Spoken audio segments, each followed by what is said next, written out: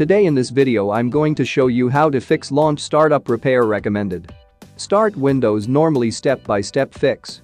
You can see that every time Windows or your system starts, the computer restarts again. And again and shows launch startup repair recommended or start Windows normally and also.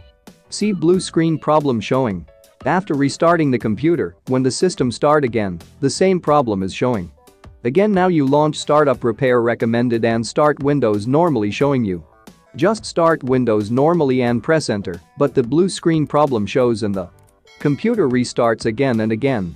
After starting the computer, the same problem again is that the Windows logo comes automatically and restarts the computer again and again every time you start Windows. Normally, the computer will restart. Follow my steps to fix the problem whenever your computer restarts, immediately go to the BIOS menu by pressing Del and F2 or F12 key on your keyboard. When the BIOS menu appears, go to the Advanced menu. Then go to SATA configuration. Many computer BIOS menus will show storage configuration. After entering the SATA configuration, the SATA controller must be enabled. Then go to SATA mode selection and enter. You will see that there are two modes in SATA mode selection, one is IDE mode and the other is AHCI mode. You can select any one, I had previously selected IDE mode so I will now select AHCI mode.